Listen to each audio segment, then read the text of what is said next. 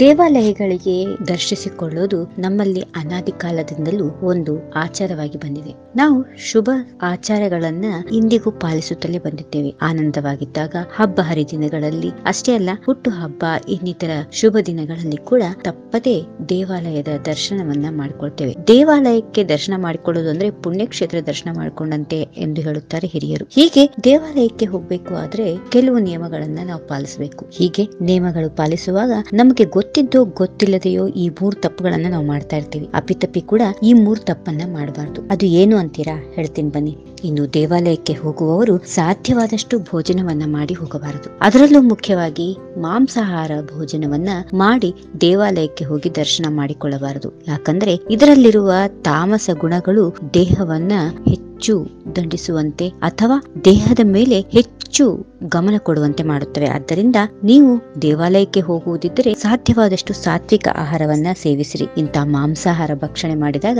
ಸಾಧ್ಯವಾದಷ್ಟು ದೇವಾಲಯಗಳಿಗೆ ಹೋಗುವುದನ್ನ ಬಿಟ್ಟುಬಿಡಿ. ಇನ್ನು ಸಾಮಾನ್ಯವಾಗಿ ದೇವಾಲಯಕ್ಕೆ ಹೋಗುವಾಗ ಶುದ್ಧವಾದ ವಸ್ತ್ರಗಳನ್ನ ಧರಿಸಿ ಹೋಗಬೇಕು. ಅಪರಿಶುಭ್ರರಾಗಿ ಯಾವಾಗಲೂ ಹೋಗಬಾರದು. ಇನ್ನು ಎರಡನೇ ವಿಷಯ ಏನಪ್ಪಾ ಅಂದ್ರೆ ಪ್ರತಿಯೊಂದು ಗುಡಿಯಲ್ಲಿಯೂ ಧ್ವಜಸ್ತಂಭ ಇದ್ದೇ ಇರುತ್ತದೆ. ಧ್ವಜಸ್ತಂಭಕ್ಕೆ ಮೊದಲು ನಮಸ್ಕರಿಸಿಕೊಂಡ ನಂತರ ಮೂಲ ವಿಗ್ರಹ ದರ್ಶನ ಮಾಡಿಕೊಳ್ಳಬೇಕು. ಧ್ವಜಸ್ತಂಭದ ನಮಸ್ಕಾರ ಮತ್ತು ಯಥಾನ ಶಕ್ತಿ ಪುಷ್ಪ ಸಮರ್ಪಣೆ ಮಾಡಿಕೊಂಡು ಧ್ವಜಸ್ತಂಭವನ್ನ ನಮಸ್ಕರಿಸುತ್ತಾ ಒಳಗೆ ಪ್ರವೇಶ ಮಾಡಬೇಕು. ಇನ್ನು ಮೂರನೇ ವಿಷಯ, ಭಗವಂತನನ್ನ ದೇವಾಲಯದಲ್ಲಿ ದರ್ಶಿಸಿಕೊಳ್ಳುವಾಗ ಕಣ್ಣು ಮುಚ್ಚಿ ದರ್ಶನ ಮಾಡಿಕೊಳ್ಳಲೇಬಾರದು. ಸಾಧ್ಯವಾದಷ್ಟು ಕಣ್ ತೆರೆದು ಮೂಲ ವಿಗ್ರಹವನ್ನ ಕಣ್ತುಂಬಿಕೊಳ್ಳಬೇಕು ಭಕ್ತಿ ಪಾರವಶ್ಯದಿಂದ ಕಣ್ಮನಗಳನ್ನ ತುಂಬಿಕೊಂಡು ಭಗವಂತನನ್ನ ಧ್ಯಾನಿಸಿ ಭಕ್ತಿ ಪೂರ್ವಕ ನಮಸ್ಕರಿಸಿಕೊಳ್ಳಬೇಕು. ಆದ್ದರಿಂದ ಮನೆಯಲ್ಲಿರುವ ದೇವರುಗಳಿಗೆ ಒಮ್ಮೊಮ್ಮೆ ಕಣ್ ತೆಗೆದು ಕಣ್ ಮುಚ್ಚಿ ನಮಸ್ಕರಿಸಿದ್ರೆ ಪರವಾಗಿಲ್ಲ. ಆದರೆ ದೇವಾಲಯಕ್ಕೆ ಹೋದಾಗ ಮಾತ್ರ ಕಣ್ ತೆಗೆದು ಭಗವಂತನನ್ನ ಕಣ್ ತುಂಬಿಸಿಕೊಂಡು ನಮಸ್ಕರಿಸಿ ಬರಬೇಕು ಎಂದು ಹೇಳುತ್ತಾರೆ. ಇನ್ನು ಸಾಧ್ಯವಾದಷ್ಟು ಮರೆಯಬಾರದ ಮತ್ತೊಂದು ವಿಷಯ ಏನಪ್ಪಾ ಅಂದ್ರೆ